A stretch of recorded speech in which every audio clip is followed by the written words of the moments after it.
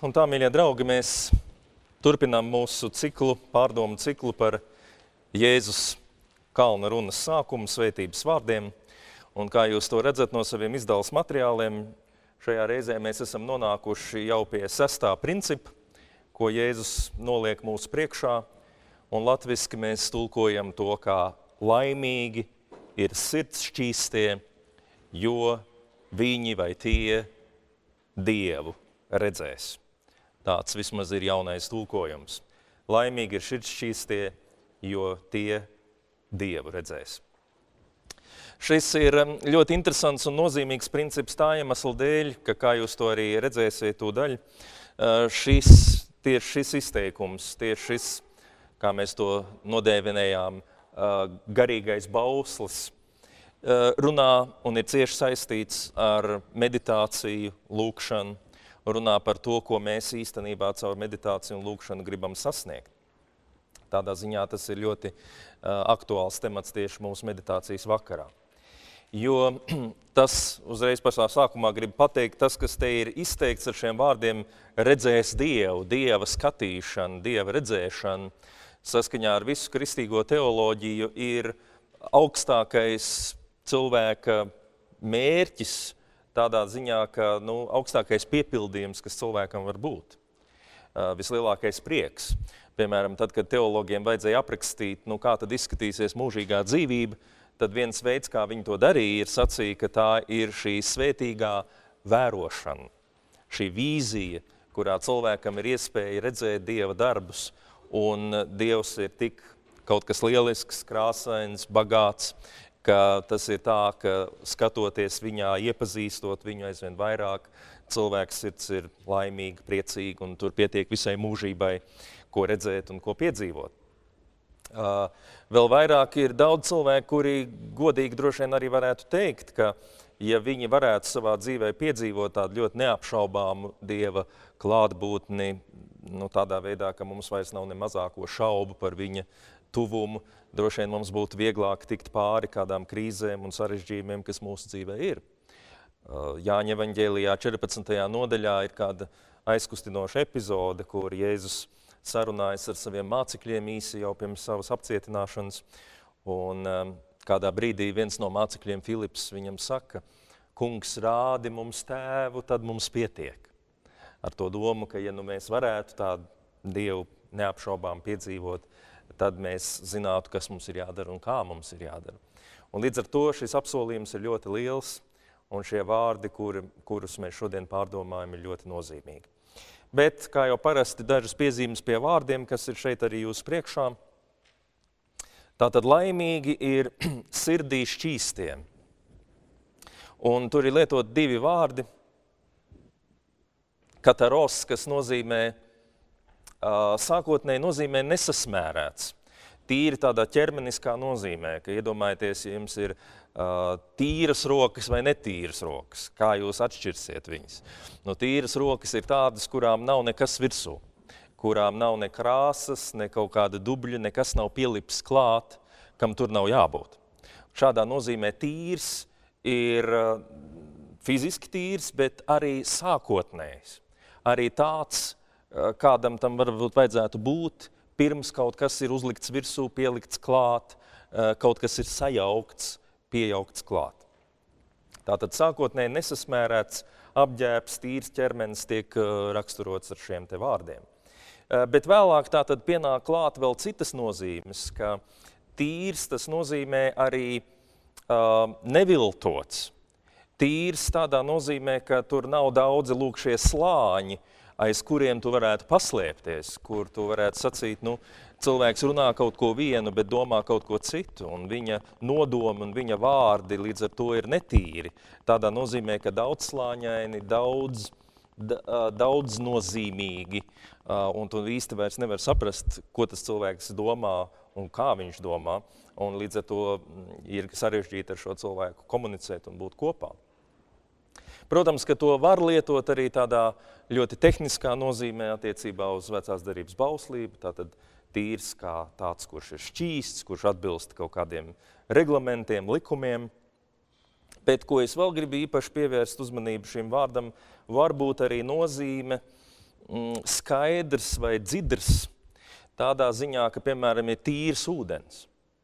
Tad, kad ir tīrs ūdens, tas nozīmē, ka tātad, nu, viņš ir uh, caurspīdīgs, nesaduļķots, viņā nav kaut kādu piemaisījumu klāt. Un es īpaši pie tās šī vārda tagad kavējos tieši tāpēc, lai es sajustu visu to kontekstu ka runa ir tātad par kaut kādu situāciju, kurā nav piemaisījumu, uzslāņojumu, duļķu, kaut kā, kas ir virsū klāt vai piejaukts vai apkārt aplikts, bet kam tur sākotnēji nav jābūt. Jo šis vārds tīrs nozīmē kaut kas ir tāds, kādam tam nosacīti ir sākotnēji jābūt, kurš ir atrodas savā sākotnējā stāvoklī. Tāds, kādam tam jābūt. Un, um, un savukārt vārds kardija jums visiem ir zināms no kardioloģijas, tātad tas tiešām nozīmē sirds. Un um, kardija tātad tikai atgādinu ir uh, ne jau tikai tas orgāns, kas pumpē asinis, bet um, tas ir centrs, kurā sanāk kopā visas cilvēka domas un pats galvenais emocijas. Tad, kad mēs sakam, man sažņaudzās sirds, vai sirds pamira krūtīs, vai sirds sāk lēkāt, aiz prieka, tie visi ir vārdi, kas, eh, starp citu, ļoti daudzās valodās raksturo gan šo fizisko pieredzi, gan arī eh, šo koncepciju, ka cilvēka dziļākais centrs dīvainā kārtā, vismaz sajūta līmenī, neatrodas mūsu galvā, bet eh, sirdī, proti ne tik daudz mūsu domās, kā mūsu emocijās, mūsu pārdzīvojumos.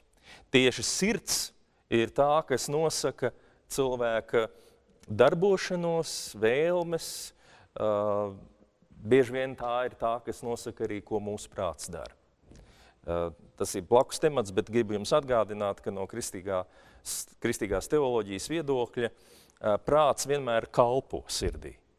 Prātam pašam pietrūkst uh, kaut kāda tāda atskaites punkta. Mūsu intelekts, mūsu racionalitāte ir spējīga visu kaut ko izveidot. Un mēs varam racionāli pamatot, atvainojiet, tur, teiksim, visbriesmīgākās lietas un arī vislabākās lietas. Un, un līdz zināmai robežai tā ir tiešām tāda prāta spēle. Un tas, kas nosaka, vai cilvēks būs izcils domātājs vienā vai otrā virzienā, bieži vien ir šī viņa sirds. Tā, tie ir šie viņa dziļākie iekšējie stāvokļi un pārdzīvojumi.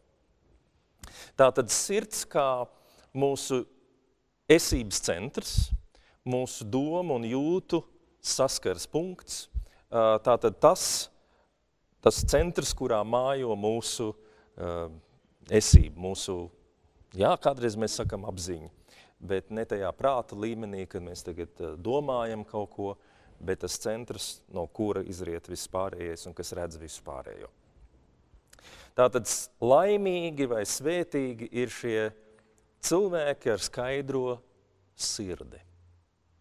Un vēlreiz atgādināšu, ka tam ir divas nozīmes. Skaidra sirds, kā nesaduļķota sirds, kā tāda, kurā nemutuļo kaut kas un nav tur iekšā pieaugts kaut kas, un skaidra kā tāda, kura ir atklāta, godīga, eh, nav paslēpusies aiz kaut, kādiem, aiz kaut kādām maskām skaidrs cilvēks ar skaidriem nodomiem ir saprotams, redzams, ar viņu ir iespējams rēķināties, jo tas ir cilvēks, kurš ir tāds, kāds viņš ir. Un tad ar to ir saistīts šis lielais apsolījums, ka tieši šādi cilvēki redzēs Dievu. Un tie, kas esat vairāk dzirdējuši no manis, zinat, ka te īstenībā ir viena ļoti netipiska lieta – jo šeit tiek lietots vārds Dievs, um, teos, vai ne? Un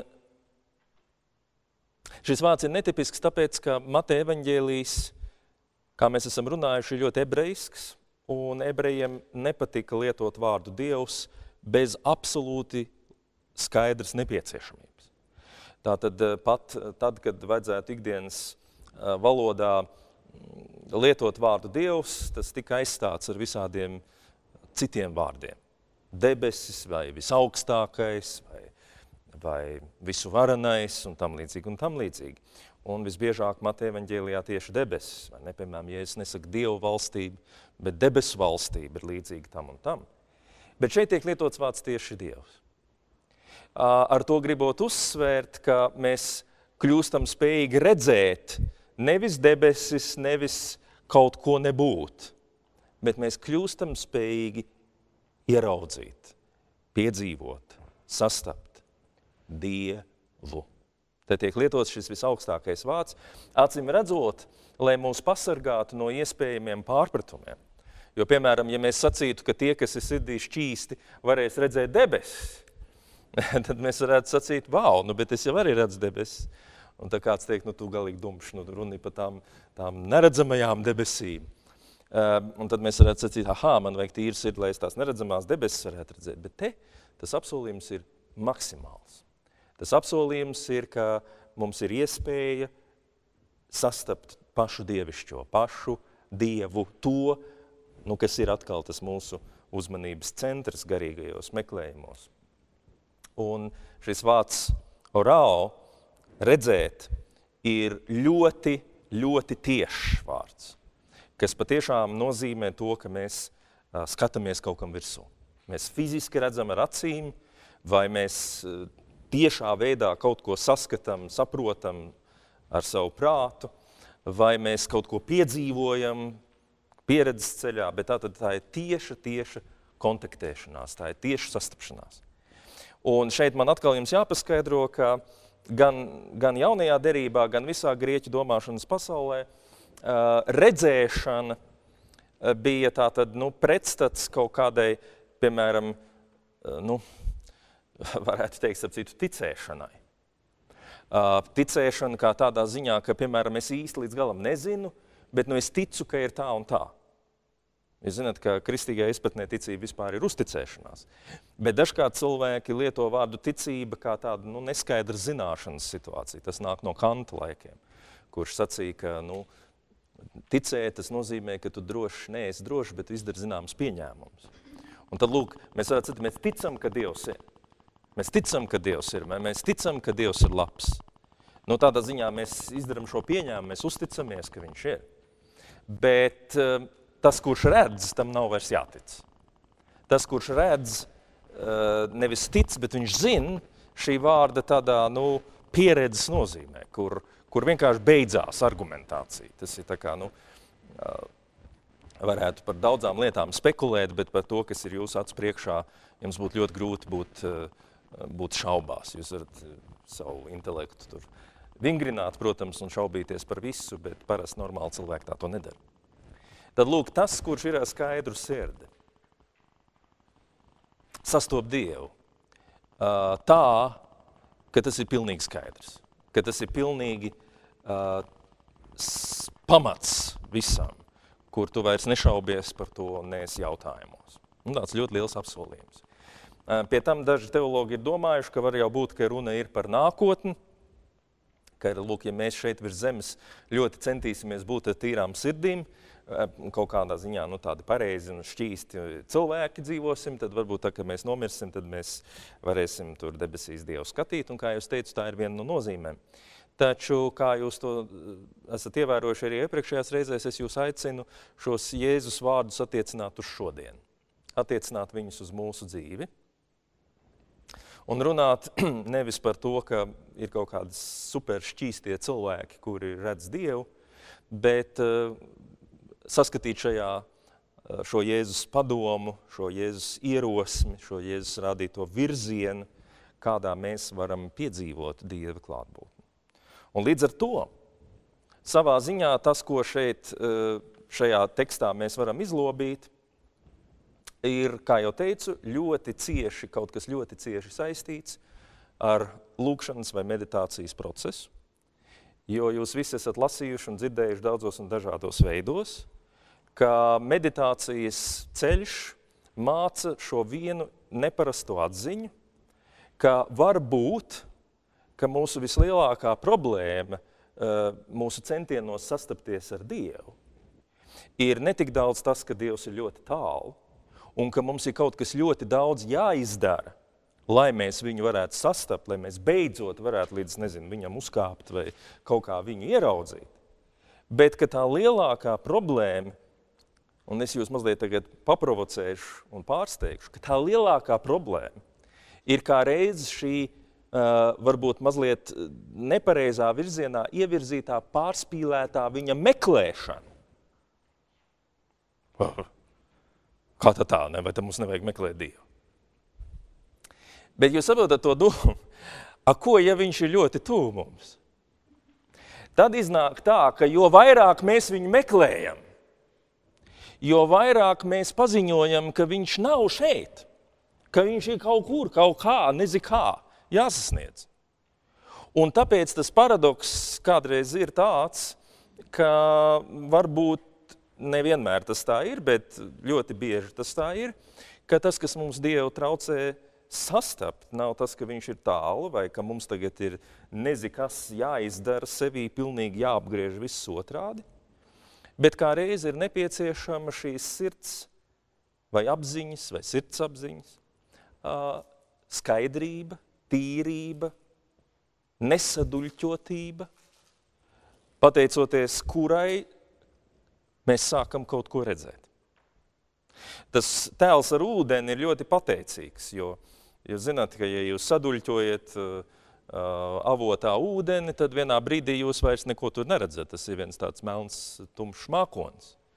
Un ir jāpaiet zināmam laikam, lai tas ūdens atkal nos, no, notīrītos, lai viņš tās, tie, tie, tās smiltis nosēstos, vai jauns ūdens pieplūst klāt, un tas kļūst dzidrs, un jūs sākat kaut ko redzēt. Tātad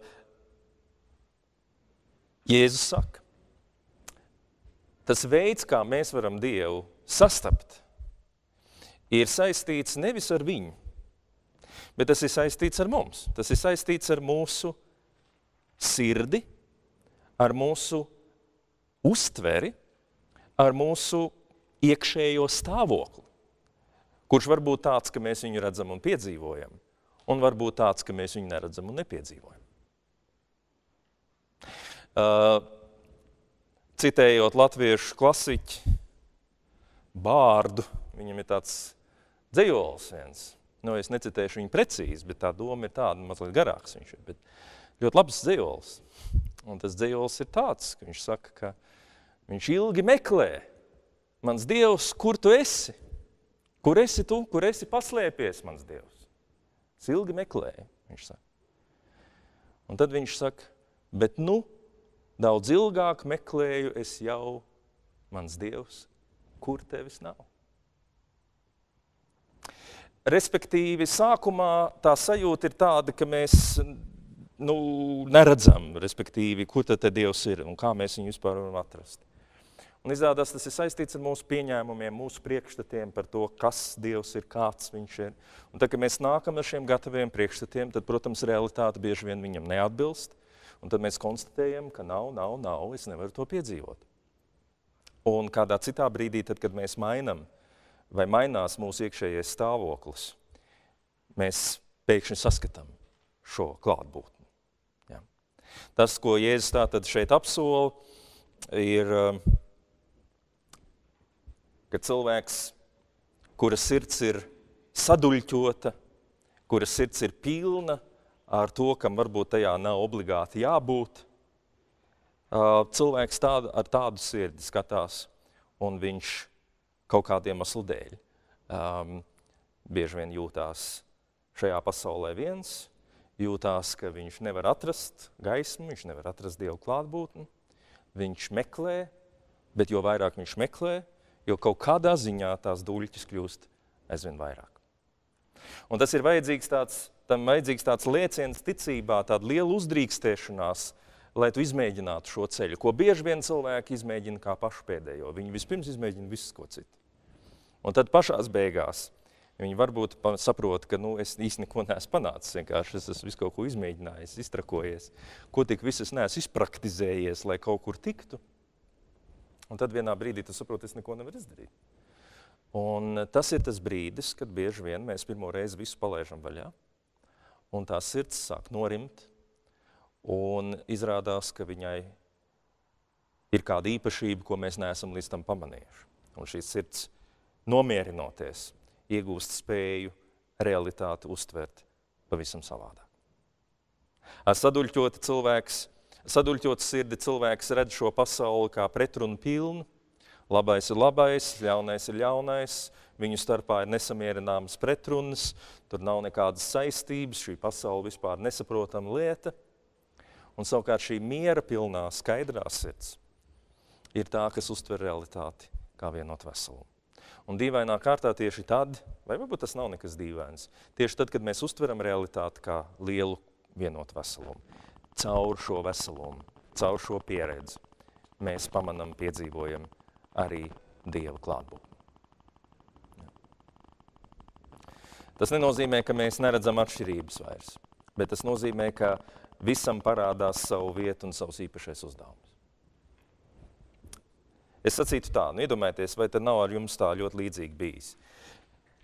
Ja tu esi ļoti, ļoti satraukts par kaut ko, ja tu esi ļoti, ļoti satraukts par kaut ko, tad loģiski, ka tajā brīdī tu arī pasauli uztver izkropļotā veidā. Nu, to mēs visi zinām. No, no jeb, jebkurš cilvēks to pazīst šo pieredzi. Mēs kaut ko pārspīlējam, kaut ko mēs neredzam, jo mūsu sirds mutuļo. Vai jūs varētu iedomāties situāciju, ka tā sirds nomierinās pavisam? Un viņā, kā, kā austrumu tradīcija mums to saka, kā tādā lielā spogulī sāk atspīdēt šī realitāte. Tanī brīdī mēs sākam redzēt lietas pavisam citādi. Tā tad runa ir par šo sirds attīrīšanu, bet domājiet vēlreiz līdzi, attīrīšana šai gadījumā nenozīmē, ka tu tagad urbies tai sirdī iekšā, ka tu tagad mēģini kaut kā viņu padarīt par kaut ko citu, nekā viņi ir. Bet attīrīšana šajā gadījumā nozīmē norimt, apklust, ļaut tam ūdenim nosēsties ļaut tai gaismai sākt spīdēt cauri. Ar šo lietu Jēzus nenormāli kaitināja sava laika uh, reliģiskos darboņus. Tāpēc, ka reliģiskiem darboņiem vienmēr licies, ka šis galīgi neizklausās labi. Uh, nu kā, nu mēs taču zinām, kas ir labi, kas ir slikti. Mēs zinām, kas ir jādara, mēs zinām, kas nav jādara. Cilvēkiem ir jāuzvedās, cilvēkiem ir jādara pareizas lietas. Un tad Viņi varēs uzskatīt, ka viņi ir cienīgi Dievam tuvoties. Tad viņi varēs nu, kaut kā ar viņu sastapties. Bet Jēzum bija šī pavisam pretējā pieeja. Viņš mācīja, ka nevis caur mūsu labiem centieniem, caur to, ka mēs tagad uzvedīsimies, nezinu kāpēc un nezinu kā, pēkšņi saņemsimies un dzīvosim normālu dzīvi, caur to mēs nopelnīsim iespēju kaut kā sastapties ar Dievu.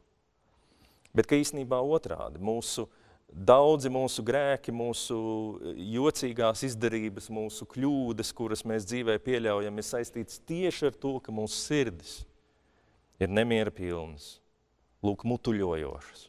Tajās mājo visādas idejas, domas, mēs esam aizņemti paši ar sevi.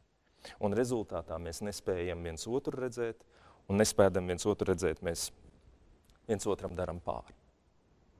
Ja. Dieva sastapšana – kā dabisks process. Un tas, ko Bībele sauc par grēku, kas tā tad aizsedz mums Dievu, kā tieši tas, kas ir pielikts klāt mūsu sirdī, kas ir, kas ir pārņēmis mūs, protams, apņēmis mūs, no kā jātiek vaļā. Bet tā vaļā tikšana ir atgriešanās pie sākotnējā avota. Un tāpēc meditācija tieši to mums māca, ka uh, vislabākais veids, kā mēs varam nonākt līdz pieredzēji, ir, ka mēs mācāmies praktizēt šo mieru un klusumu, iekšēju mieru un iekšēju klusumu. Jo kā tad šī sirds tīrība ir panākama? Kā tad tas ir panākams? Kā tad to var sasniegt?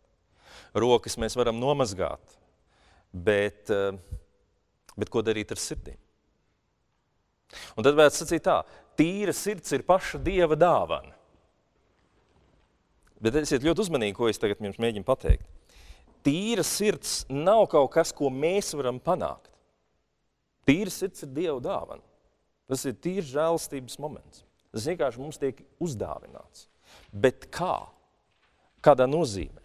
Lūk, šajā sākotnējā tīrības nozīmē. Šajā nozīmē, ka tas ūdens noskaidrojas, tie, tā migla izklīst, un līdz ar to debesis kļūst dzidras. Ko debesis dara, lai viņas būtu dzidras? Vai ko zeme dara, lai viņa būtu mierīga, lai viņa būtu stabila? Ja viņi sāk kaut ko darīt, tad viņi nav stabili vairs. Un ja debesis sāk kaut ko darīt, nezinu ko, viņas nav vairs dzirdas un nav vairs tīras. Tas paradoks ir tātad, ka sirds tīrība, sirds miers, sirds skaidrība ir Dieva dāvana. Bet, kā to rakstīja daudziem jums vārda pēc zināmais Pontas Evagrīs, viens no pirmajiem uh, autoriem, kas apraksta tūkstnešu tēvu pieredzi, viņš ļoti skaidri sacīja, ka vienīgais ceļš laukā no šiem mūsu sirds mutuļiem ir šī mācīšanās lūgt Dievu, bet tajā īpašajā formā, kurā mēs nevis tos mutuļus kurbulējam augšā un mēs, jūs saprotat, mēs jau varam tā lūgt Dievu, ka ir pilnīgi skaidrs, ka Dieva nav. Un kā tā nozīmē?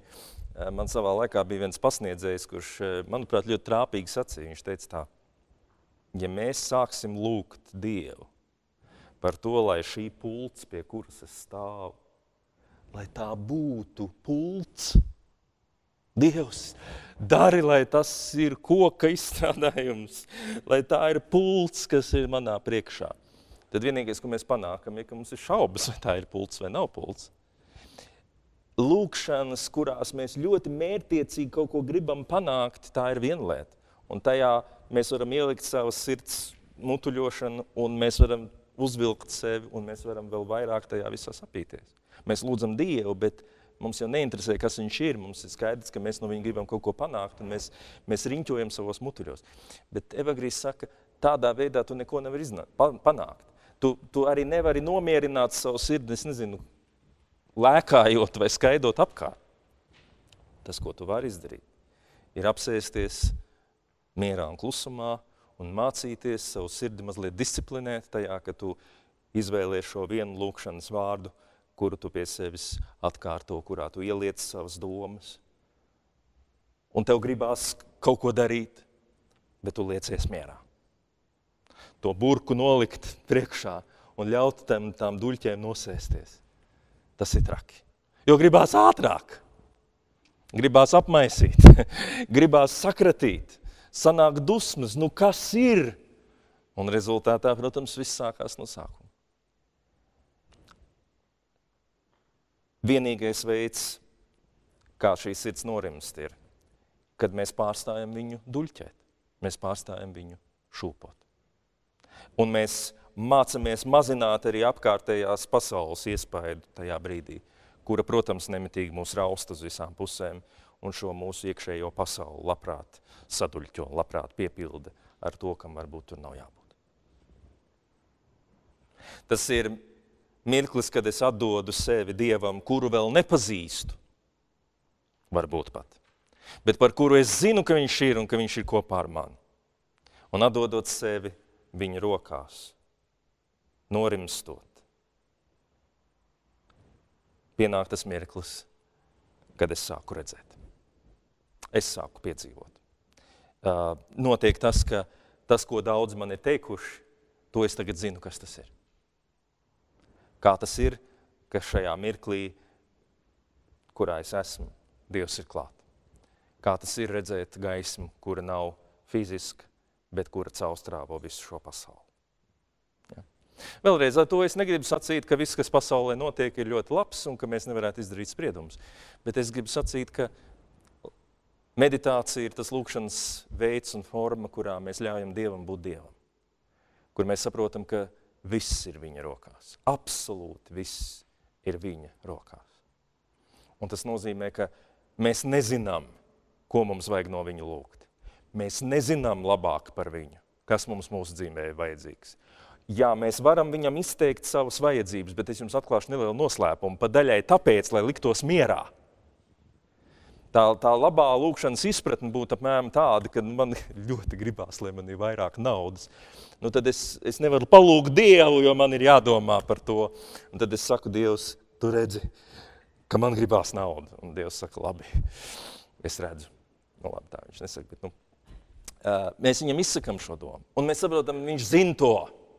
Viņš zin to. Un tad nāk tas nākamais atspēriens, ka es saprotu, pagaidi Bet kaut kā jau es līdz šim esmu izdzīvojis, tas ir numur viens, bet numur divi, kad esam redzot, manā dzīvē notiek tas, kas, kas notiek, kas var notikt, kam ir jānotiek. Un es nonāku līdz tam, ka lūkšana ir šis brīdis, kurā es mācos Dievam ļaut vadīt šo pasauli, ļaut šai pasaulē būt tādai, kādu Dievs viņu ir veidojis.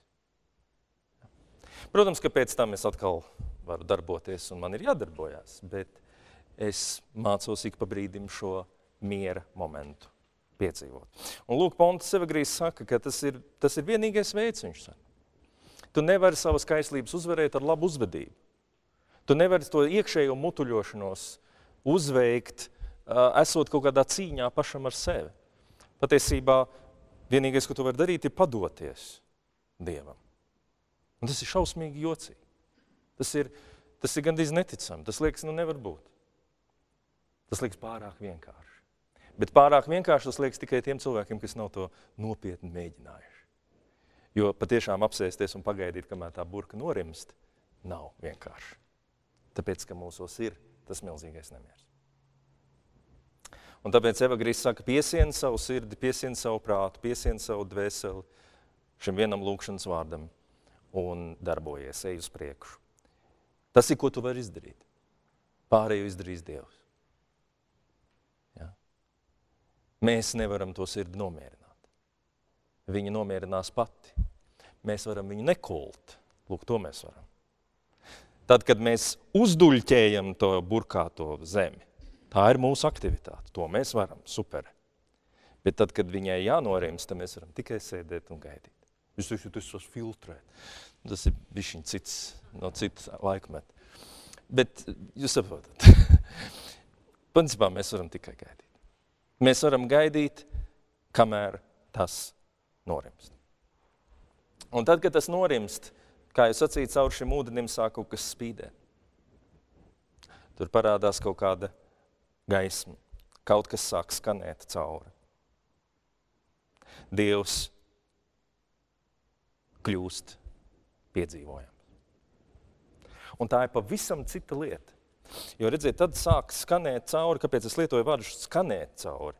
Tāpēc, ka no šī vārda personāra ir cēlies vārds arī persona, vai ne, kas senajā Grieķijā bija maska, ko uzlika aktieris, lai visiem tālumā amfiteātrī būtu redzams viņa grimasa, priecīga vai bēdīga vai vēl kas.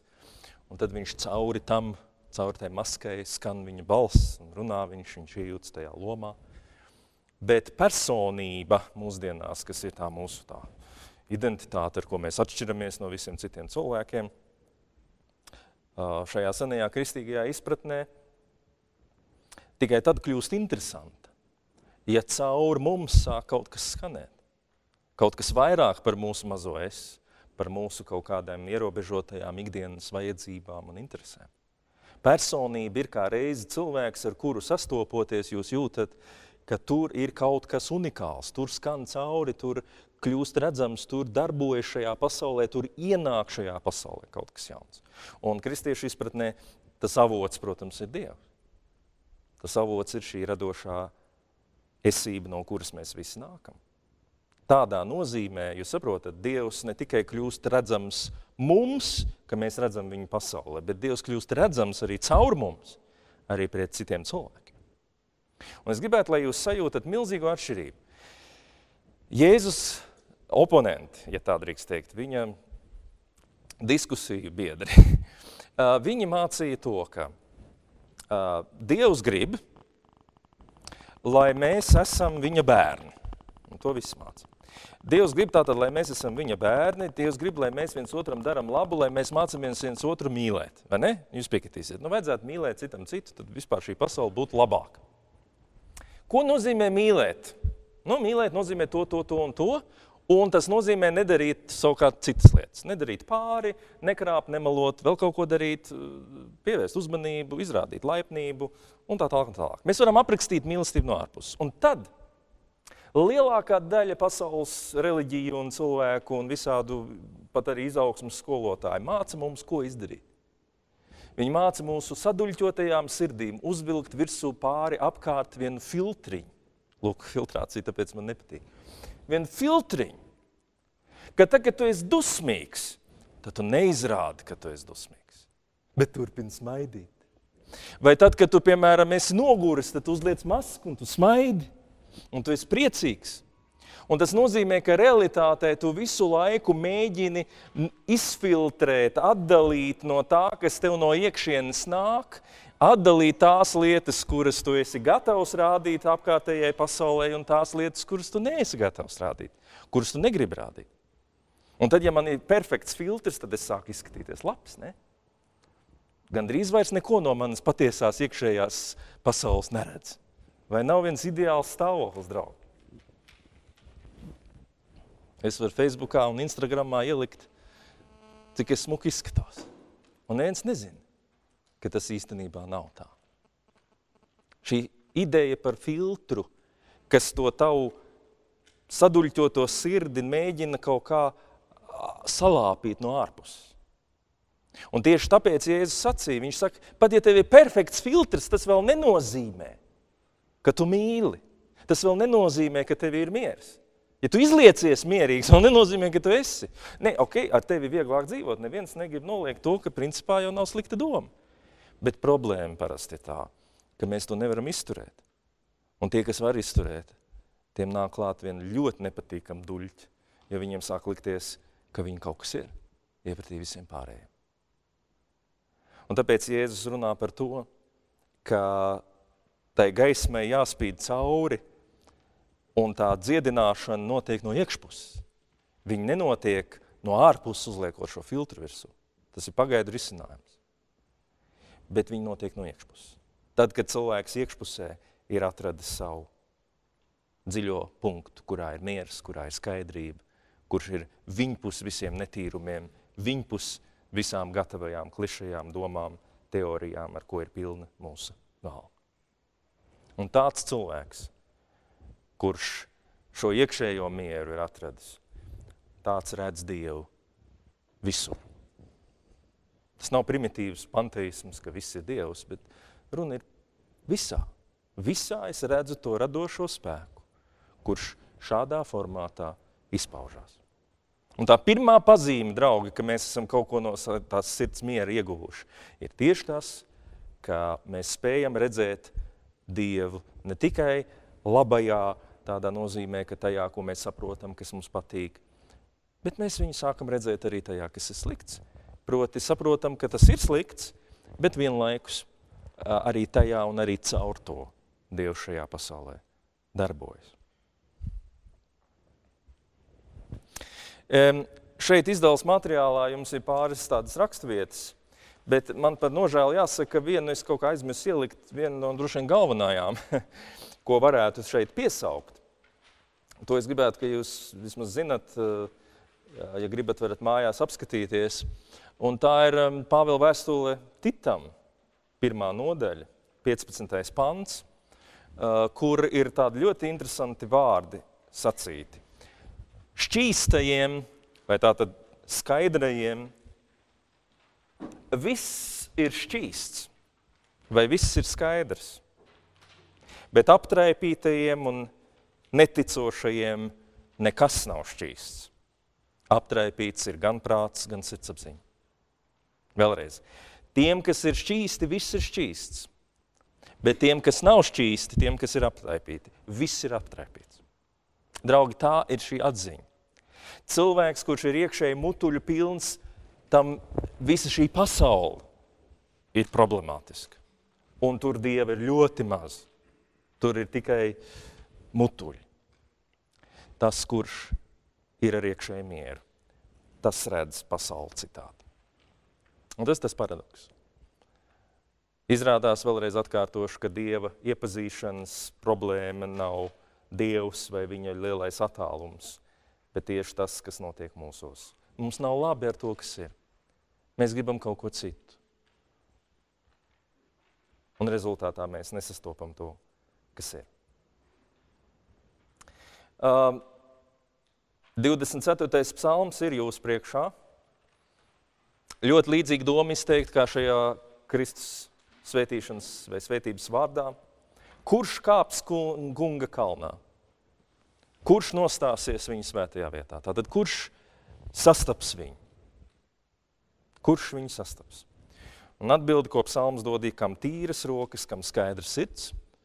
Un klasiski tātad ebrejiskajā versijā tas tiek paskaidrots ar diviem paralēliem jēdzieniem, kas savu dvēseli nepiesien māņiem un kas nav nepatiesi zvērējis. Tātad, kas tad ir šis cilvēks ar tīro sirdi? Tas, kurš nepiesien savu dvēseli māņiem, un tas, kas nav nepatiesi zvērējis. Un tas nepatiesi zvērēt nozīmē, tu saki viena, bet ir kaut kas cits. Un nepiesiet māņiem, tas ir tas, ko es mēģinu jums šeit pateikt, ka mūsu iekšējā pasaule var būt pilna ar gatavām koncepcijām. Un tā vietā, lai mēs pieņemtu realitāti, lai mēs skatītu viņu, lai mēs, lai mēs ieraudzītu viņas bagātību, tā vietā mēs meklējam visu laiku kaut ko citu, un mēs nevaram atrast neko citu. Man slikta ziņas priekšā. Un rezultātā mēs dzīvojam ilūzijās. Mēs pieķeramies māņiem, no kuriem mēs nevaram atmosties. Vai mums ir ļoti grūti to izdarīt. Un tā tad vēlreiz tas, kas dod mums iespēju sastapties ar Dievu, ir šī gatavība pieņemt viņa klātbūtni un darbību visā, kas ir. Un tas ir, ko mēs mācāmies meditācijas procesā. Mēs mācāmies um, ļauties Dieva darbībai. Un šādā nozīmē mēs mācāmies būt patiesi un īsti gan Dievu priekšā, gan arī cilvēku priekšā, jo mēs mācāmies pieņemt šo realitāti ar visu viņas, visām viņas izpausmēm un to, ko tas nozīmē. Diemžēl man nav daudz laika, bet tas otrs pārdomu teksts ir no Mateja 15. nodaļas, kur Jēzus runā, sarunājas ar farizējiem, kuri tātad ļoti uzsver, viņi pieķērušies tam, ka Jēzus nemazgā rokas. Un pirms jūs sakat domāt, ka fuj, kā tas ir nemazgāt rokas. Atceraties, ka tie, tas ir cits klimats, cits laikmets, tur nav tā, ka pieeja pie krāna un nomazgā rokas. Bet tas bija tāds labs veids, kā cilvēkiem parādīt, ka viņi nav tur pareizie, jo, lūk, viņi nevar visus savus šķīstības rituālus tur veikt tūkstnešu vidū. To varēja atļauties tikai tādi cilvēki, kas bija speciāli visu savu dzīvi tam pakļāvuši un organizējuši, bet tas netraucēja viņiem pārējos nicināt. Un Jēzus sauc savus oponentus ļoti nepatīkamā vārdā par liekuļiem. Viņš sauc viņus šai vārdā hipokritēs, kas nozīmē tāds cilvēks, kurš ir paslēpies, kurš savu patieso dabu paslēpj. Un lūk, viņš viņiem pārmet tieši to, ka tā vietā, lai būtu mīloši un atvērti cilvēki, viņi patiesībā slēpjās zem ārējas, šķietamas laipnības un mīlestības. Viņi slēpj savu veco domāšanu. Tā vecā domāšana un vecā sirds ir tā, kas ir pilna ar, ar dažādiem uh, traucējumiem, kas nav atradusi mieru, kas nav izlīgusi ar šo realitāti. Un tad viņš saka, ka ne jau tas cilvēku aptraipa vai sagāna vai padara netīru, ka viņš tur kaut ko apēd, ne to, bet uh, tas, kas patiešām cilvēkam nedara godu, ir tas, kas nāk no viņa iekšienes, kas nāk no viņa sirds, kur parādās mūsu bieži vien ļoti sautīgās un ļoti problemātiskās idejas, domas un vēlmes. Tā kā jūs varat to palasīt. Bet um, vēlreiz kopsavalkot, tas, ko Jēzus mūs aicina šeit saprast, draugi, ir, ka ceļš uz svētību ir iekšēji miera klusuma, skaidrības ceļš. Tas, ko tūkstneša tēvs sauc par hesahiju, šo iekšējo klusumu, kurā sirds norimst un lietas kļūst redzamas un saprotamas. Par to var runāt stundām, bet cilvēks, kas nav to piedzīvojis, to sapratīs savādāk nekā tas ir. Tā ir tikai un vienīgi pieredzes lieta. To ir praktiski neiespējami cilvēkam nodot otram cilvēkam vienkārši vārdu līmenī. Tāpēc, ka viss, ko mēs runājam vārdu līmenī, skan kā kaut kas no šīs pasaules. Un līdz ar to cilvēkiem ir sajūta, ka tajā meditācijas brīdī man ir jāredz gaisma vai man tur jācenšas kaut ko piedzīvot, un tas ir kā reizi tas, kas nav jādara. Un tad, kad tu to nedari, tad tas atnāk. Tā ir tīra žēlstība. Tas vienkārši notiek. Ja. Tas nav tikai pēc nāves. Tas nav tikai debesīs. Tā ir tā ir metode, kuru Jēzus liek mums priekšā. Kā saņemt svētību un kā būt par svētību. Labi, draugi, bet varbūt ir kādi jautājumi? Tūlīt, jā.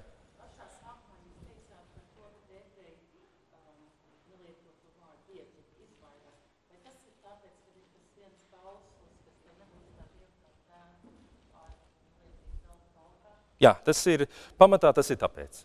Ir šis bauslis, tev nebūs Dieva vārdu tukši vai veltīgi vai nelietīgi, kā Luters to tulkoja valkāt. Daļai dēļ šī baušļa, bet, protams, arī daļai tāpēc, ka viņi uzskatīja, ka vārds līdzīgi kā, piemēram, arī fizisks veidols, ir savā ziņā ierobežojošs. Ja? Un līdz ar to, tiklīdz mēs neierobežoto nosaucam kaut kādā veidā vārdā, tā pastāv risks, ka mēs nevis ar šo vārdu rādam uz to, kas ir neierobežots, bet mēs radam priekšstatu, ka mēs to neierobežoto esam beidzot apvilkuši viņam aplīt apkārt, mēs tagad zinām, kas viņš ir. Pretstatā kaut kam citam. Kaut vai vienkārši. Un šādā nozīmē viņi tiešām sacīja, nē, nē, vislabākais ir rādīt visu laiku virzienā, lai tu tieši tā arī saprastu, ka mēs runājam par kaut ko, ko mēs atsakamies šajā brīdī saukt vārdā, tātad uzskatīt par definētu.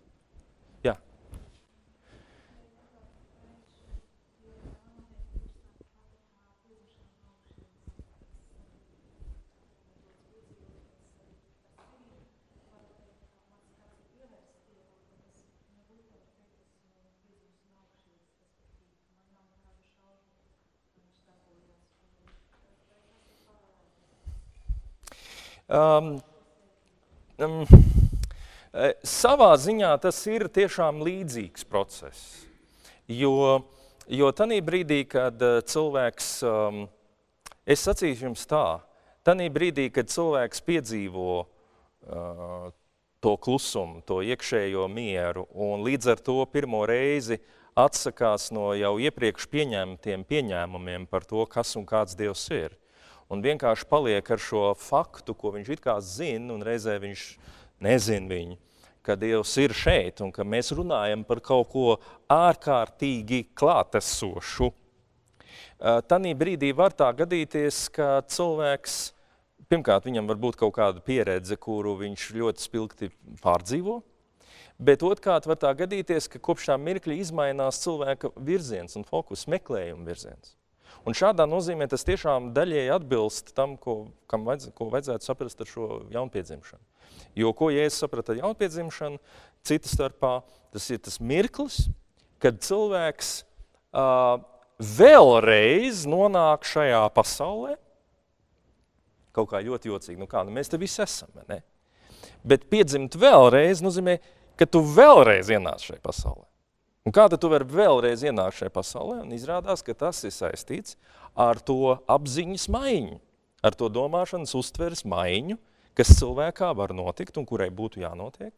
Un tā, tā apziņas maiņa ir tieši tajā, ka, ja es līdz šim redzēju sevi kā izolētu un nošķirt no pārējās realitātes, un pārējo realitāti redzēju uh, tikpat mutuļainu, cik mutuļaina ir man iekšējā pasaule, tad norimstot šīm lietām, es sacītu ļoti vienkārši, es ieraugu, uh, ka mēs visi esam savā starpā saistīti, mēs, mēs ieraugam savu fundamentālo piederību šai Dievu pasaulē, un mēs pēkšņi esam šajā pasaulē nevairs kā svešinieki, kā kaut kādi opozīcijā mūžīgi esoši cīnītāji, bet mēs esam šajā pasaulē kā viņai absolūti ontoloģiski piederīgi, kā, kā tādi, kas jūtamies, ka mums šeit ir jābūt, mums šeit ir vieta, mēs šeit drīkstam būt, šī nav pasauli, no kuras mums būtu jābaidās, un tajā notiekošie procesi nav tādi, ar kuriem mums būtu jācīnās.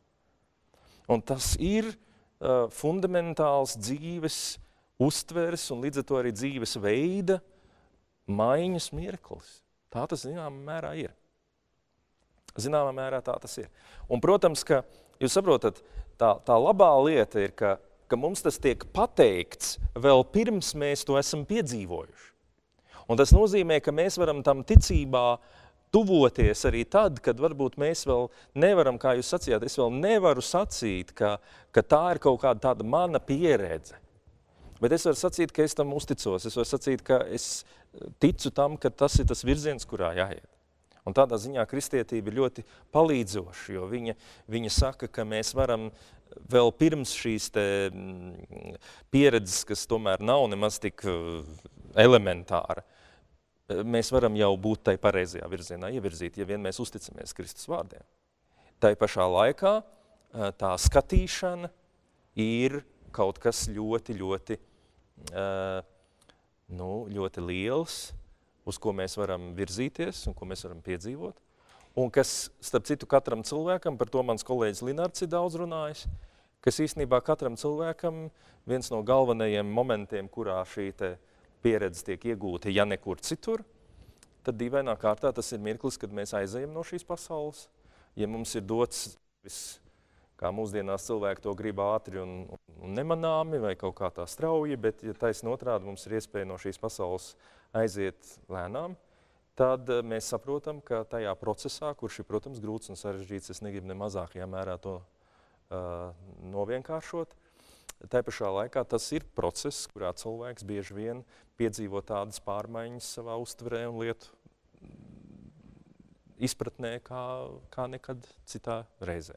Jo tur atkal tas moments ir, kad tev vairs nav variantu. Tu savā ziņā esi spiests padoties tam procesam, kas ir lielāks.